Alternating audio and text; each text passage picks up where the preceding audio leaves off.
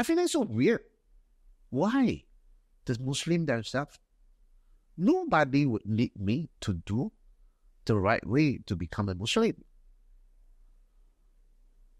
Because I remember there's a Shahadatain in that book that I bought. I asked one of the family member that who rejected me for the iftar, the early stage, the beginning stage. I asked him, I asked him, can you teach me how to read this? There's a translation in in Malay language, but I didn't understand the Arabic. I just asked him, can you help me? And then lead me how to how to how to pronounce these Arabic words. It's actually it's Shahadatain. It's the Shahada. Yes, it's the Shahada actually. Shahadu an la ilaha illallah. At that point, you wanted to say, Yeah, I just asked him, can you teach me how to pronounce? Straight away, he rejected me. No, you cannot. If you drink this, you will become a Muslim. Okay, so me also quite, oh, you see, it's a bit stupid. So I didn't ask, so I said, oh, okay. Hmm. I just follow. Oh, okay, oh, never. But my intention that is, I want to know actually what's it's about. Because I didn't understand what's the Shahada. He don't even explain to me.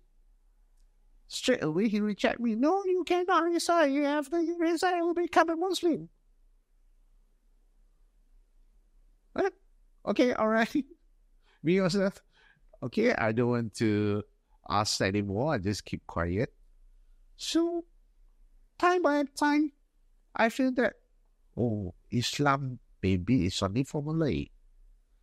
So I am a Chinese, so I should not be asked so much. It's only their religion. But I still keep fighting for myself. I didn't stop.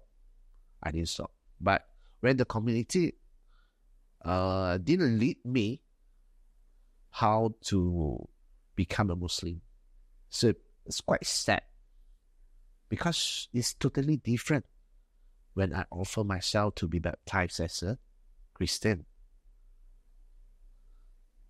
Past 10 years before, they welcome me. But when I offer myself, I want to become a Muslim, but why nobody offer me? Even though that I feel that people is rejecting me. That's worse.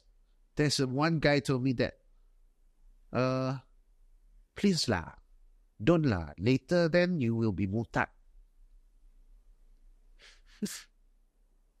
you don't need to become a Muslim lah. Don't get into Islam. Later on you will be murtad. Yes. It's reality. It's reality.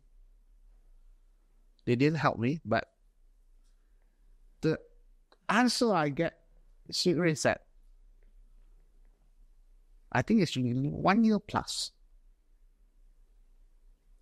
One year plus, you're trying to become a Muslim, and the Muslims are not No. letting you. No.